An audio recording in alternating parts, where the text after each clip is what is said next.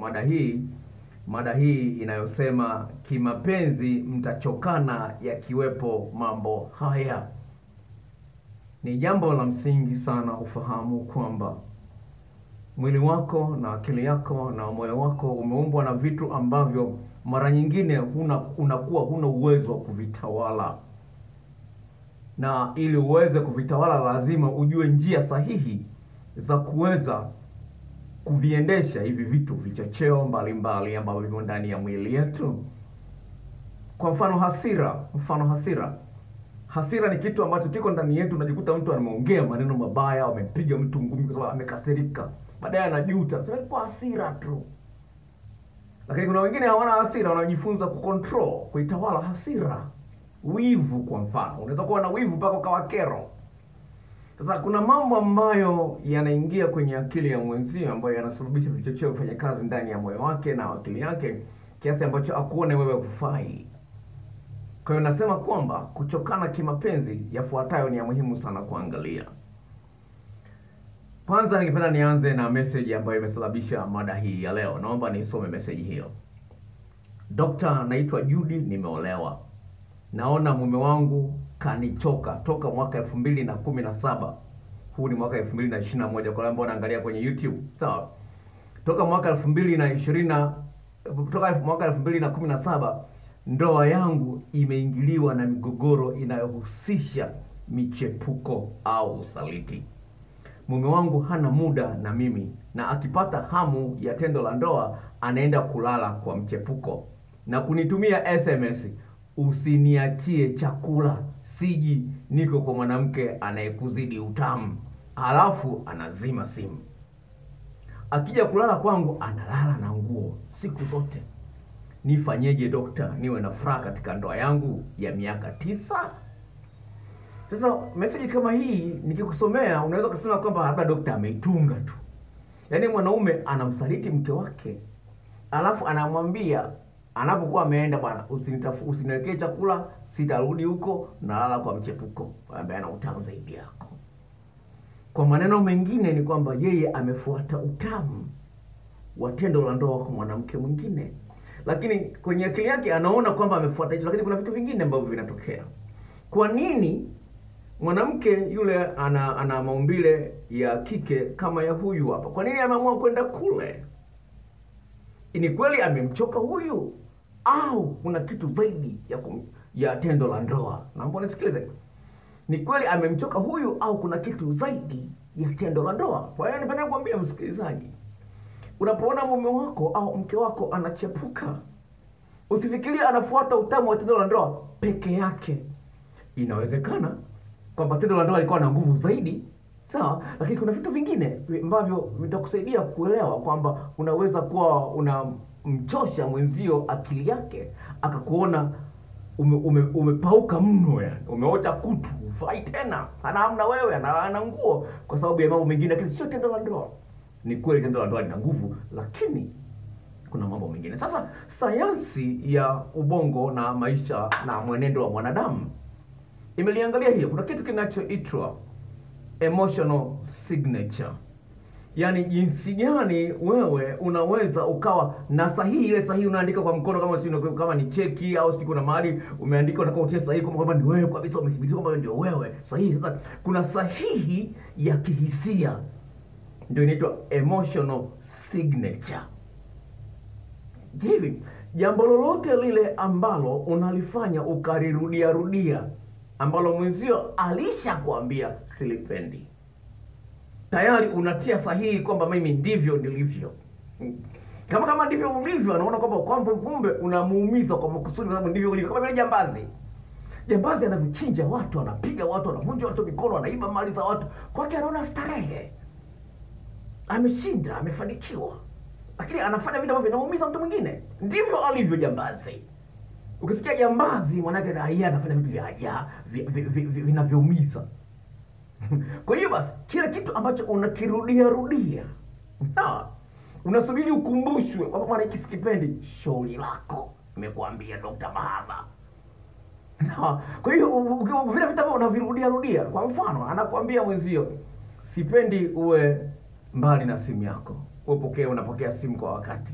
Amekwambia mara ya kwanza, ameambiwa mara ya pili, amelalamika, wewe ukaona amesha amesha amesha ameshakubali mimi mimi ameshanikubali ndivyo nilivyo.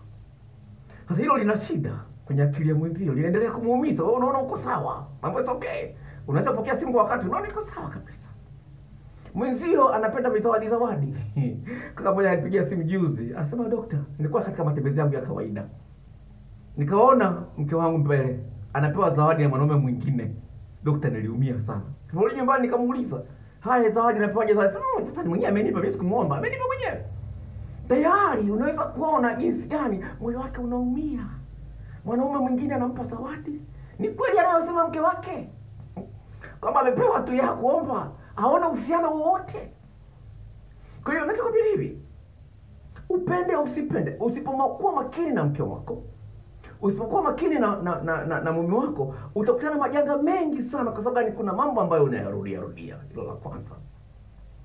La pili ambalo litakusaidia kitu ambacho kinaitwa affective presence. Uwepo wako jinsi gani unamwathiri mwenzio. Hmm, Sawa, affective presence. Kama unafahamu kuangalia Kiingereza, angalia kwenye Google. No, sio effective. Ah, ah, effective ni neno lingine. Hili ni affective presence, yani uwepo wako jinsi gani unamwathiri mwenzio. Sasa wewe uko nyumbani, lakini una maongezi na mkeo, una maongezi na, na, na, na, na, na mumeo. Umekaa na mpenzi wako, uko bize na simu, na chati sijui ni nini, au unapiga simu unaongea, huna muda wa kuongea na wewe, na hata maongezi kama unaongea huna mnogesho. Lingine, unapoongea na mwenzio unamkatisha katisha Sawa, unaweza kuona mkali kwenda kupa story moja hapo ambayo nimegundua kwamba ni, ni makosa, lakini unaweza kujua kwamba ni kosa, lakini baada mimi kusoma nikajua kwamba ni kosa. Mke wangu jioni tumekaa tunaongea, akasema bwana, yule rafiki yako yule kati anajenga ile nyumba yake pale, alikuwa anaingiza michepuko, anabadilisha Anapewa huu, anabadilisha huu, anabadilisha rangi, anabadilisha warefu, wanene, wa- wa- wembamba, weupe kwa weusi, anabadilisha. Sasa kao akakutana na mjanja, Nafikia ni wa kuchezea. Mjanja akamtegeshea mimba, Pa! Mimba imeingia, kanata humo ndani, na amejenga nyumba kifahari. Lakini dada hana uzuri wote, lakini ana ujanja. Mimba pa. Jamaa sijui kaela. Sasa mke wangu ananisimulia hiyo story, nikamwambia wewe, alikwambia hayo ni nani? Akasema mbona unapenda kunikatisha katisha? Akanambia ni fulani aliyeniambia, na mimi namjua huyo fulani. Hmm. Eh, so nikaendelea. Basi bwana sasa sasa kama akasema kama yule amekwambia, sasa yule sio mke wake, yeye ameambiwa na nani? Unaona, unaona jina ndio kuna mkatisha katisha, yani nataka nifahamu kweli sio sipendi stori za umbea waje. Akasema hivi mke wake mwenyewe na huyo jamaa huyo ambaye huyo dada ambaye alimtegeshia ujauzito, ndio kamwambia huyo. Nikaona ni kweli, yaani kukatisha katisha. Kwa hiyo kwa maneno mengine kwamba mwenzio anapoongea mwache aongee, hata kama kuna kitu amekosea mwache amalize. Sawa, mwache amalize, sio unamkatisha katisha, kwa sababu unajua unajua zaidi.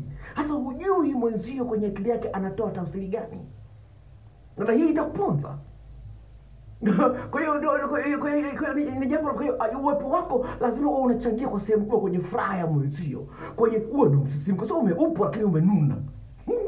Unaweza kuwa ukawepo lakini umenuna, una raha. Uwepo wako unaharibu mazingira ya raha kwa mpenzi wako. Kwa hiyo jambo la pili ambalo la msingi ambalo lakini la tatu ambalo wengi mlihisi kwamba linachangia sana katika kuchokana ni pale ambapo tendo la ndoa halina vidokezo mnogesho wa kutosha. Mwanaume anapaswa afahamu kwamba mwanamke ana maeneo kumi na saba katika mwili wake ambao ni muhimu sana ayajue jinsi ya kuyachezea. Maeneo kumi na saba yenye misho mingi ya mishipa fahamu, ajue jinsi ya kuyashughulikia. Mwanamke anahitaji maandalizi yasiyopungua dakika kumi na tano ili afike kileleni kwa urahisi na mwanamke anapaswa ajue kwamba mwanaume ana maeneo kumi na manne katika mwili wake ambayo yana misho mingi ya mishipa ya fahamu, ajue jinsi ya kuyashughulikia sawasawa, sawa, ili mwanaume anapokuwa anamaliza au anafika kileleni afike kileleni kwa mshindo mkubwa mpaka anapiga kelele au mwili unatetemeka au anashangaa, umenifanyaje leo mke wangu? Kama dada mmoja akanitumia message anasema, dokta, toka nipata zile video zako za jinsi ya kumnogesha mwanaume kitandani hadi awe mpole kama bata, mume wangu kila siku anataka hivi hata nichoka? Unaona Anasema hivi hata nichoka kila siku wanataka bali kabla ya hapo wanaume walikuwa wanapiga piga chenga tendo la ndoa. Lakini baada ya mwanamke kupata shule ya maeneo kumi na nne katika mwili wa mwanaume jinsi ya kuyashughulikia sawasawa. Mwanaume anataka kila siku. Sasa mwanamke ana wasiwasi hata nichoka. Utachokaje utamu? Utakoja uta utamu? Chai ikiwa na sukari unakuja kwa raha mimi na sukari. Dawa chai haleluya kwa hiyo lazima uwe na elimu ya kutosha katika tendo tendo la ndoa lina nguvu sana kama utavyoona kwenye maswali nitakuwa nayajibu hapo Sawa, swali ambalo linafuatia hapo naenda kwa mchepuko ili nipate kufikwa kileleni, kufikishwa kileleni. Kuna swali ambalo liko kwenye maswali ambayo nimeandaa ambayo umeyatuma kwenye wiki kipindi cha wiki iliyopita. Kwa hiyo hilo ni jambo la msingi. Kwa hiyo maeneo hayo ni ya kuyafanyia kazi vizuri ili uweze kuwa mpenzi bora mwenye utamu na umuhimu wa kutosha, na thamani yako inakuwa kubwa kwa mpenzi wako. Hii ni Radio Free Africa ikutangazia kutoka jijini Mwanza. Tunaingia kwenye ungwe ya maswali na majibu. Maswali ni yale ambayo mmeyaleta hapa wasikilizaji nyinyi wenyewe, na maswali hayo nayashughulikia sasa hivi. In case unafungulia kipindi kwa mara ya kwanza, ni Dr. Paul Nelson Mwaipopo kutoka kliniki ya afya ya mapenzi. Kipindi hiki kinarushwa kila siku ya Jumatatu na marudio yake yanakuwa ni Jumatano saa sita za usiku, watoto wamelala, ni mambo ya wakubwa. Kwa tunaingia kwenye ngu ya maswali na majibu. Utakapotuma swali lako nitalijibu wiki ijayo, sio leo. Leo najibu ya wiki iliyopita. Niambie umri wako, wewe ni mwanamke au ni mwanaume? Maana kwangu itakuja tu kama namba. Wewe ni mwanamke au ni mwanaume? Uhusiano wako una muda gani? Sawa sawa, hayo ni mambo ya msingi ambayo nipenda kunifahamu. Sitaki kufahamu kama ni mrefu, ni mfupi, yuko Shinyanga, uko Dar es Salaam au Zanzibar. Sitaki kuhitaji kufahamu hayo, lakini uhusiano na muda gani, una umri gani, uhusiano na muda una muda gani, ni jambo la msingi sana. Namba zangu za simu, in case utasinzia, ili nipigie simu kwa ushauri kesho, lakini kuna gharama kidogo ya kuongea na mimi nje ya redio.